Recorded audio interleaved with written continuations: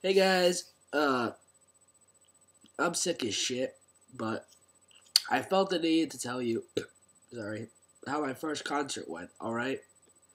Now, this concert was fucking insane, alright?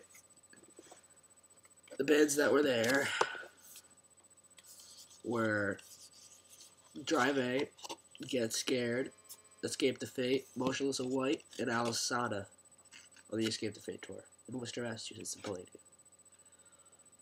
Fucking awesome. I bought my ticket two months ago because I knew this was going to be a fucking great night, and it was. I went to the mosh pit, I went crowd surfing, I did it all. I got my friends, watched my friends get high. They, they didn't invite me to get high. Oh well, I don't care. And I bought Drive A's CD. It's uh, this thing right here, and these are the songs. I downloaded it onto my uh, uh, computer, but they're M uh, MPEG files, which Tumblr hates, so I can't upload them. I wanted to though, because they were fucking awesome live. They were the first band that played. Everybody was saying they sucked, but I loved them. Uh, oh, oh, what else? Oh yeah, I got a drive a sticker. I but I gave me twenty only twenty bucks, so I, that's all you get. Was this for five bucks and this was free? Because I have to spend some money on my girlfriend for Valentine's Day, which is one I don't know a days. Also, I had I, I hung out with the dude from Drive A for a little while. He's a chill guy. I mean, I like him. Uh, he I told him, don't listen to what people say about your band. You guys are fucking awesome. And we shook hands. Well, kind of.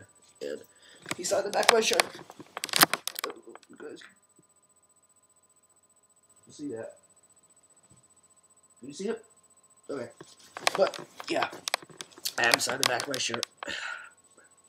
We're gonna have a, at least one band from every concert I go to sign this shirt. This motherfucking shirt right here. Gonna put this sweatshirt on now because it's cold in my room.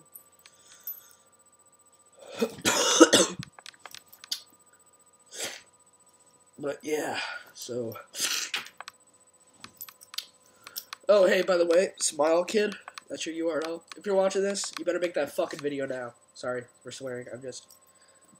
I love you. I'm getting impatient because I want to hear your accent. I've never heard a British accent before. That's weird. I know, a weird guy. But I'm glad the bands I lost my concert virginity to, and I'm glad who I lost it with.